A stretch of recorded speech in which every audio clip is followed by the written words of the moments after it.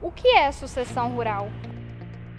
Sucessão rural não é apenas a transferência de posse de terra entre as gerações. Sucessão rural envolve todos os direitos necessários para que um jovem que queira construir seu projeto de vida no campo com qualidade de vida.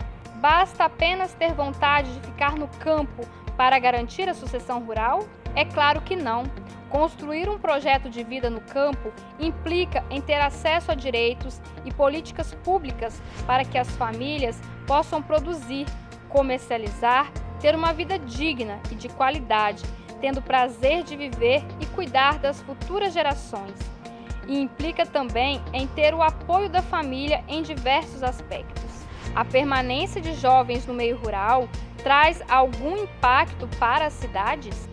É claro, somos nós quem produzimos o alimento que vai para as mesas dos brasileiros e das brasileiras todos os dias. Se nossos filhos e filhas não tiverem condições de permanecer no campo com qualidade de vida, como o Brasil se alimentará?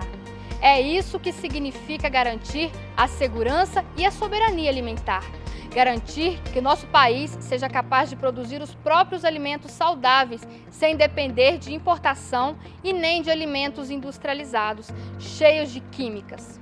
Para haver sucessão rural, é preciso garantir o acesso à terra e a todos os direitos básicos com saúde, habitação, saneamento e educação do campo e uma vez na terra, precisamos ter condições de produzir com acesso a crédito, assistência técnica, seguros, meios de comercialização.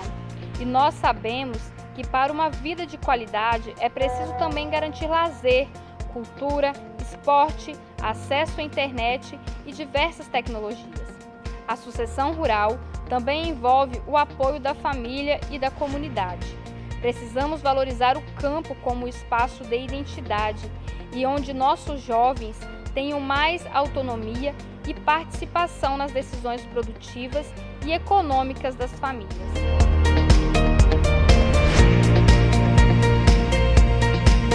Garantir a sucessão rural é bom para os povos do campo, das florestas e das águas e também para todo o Brasil.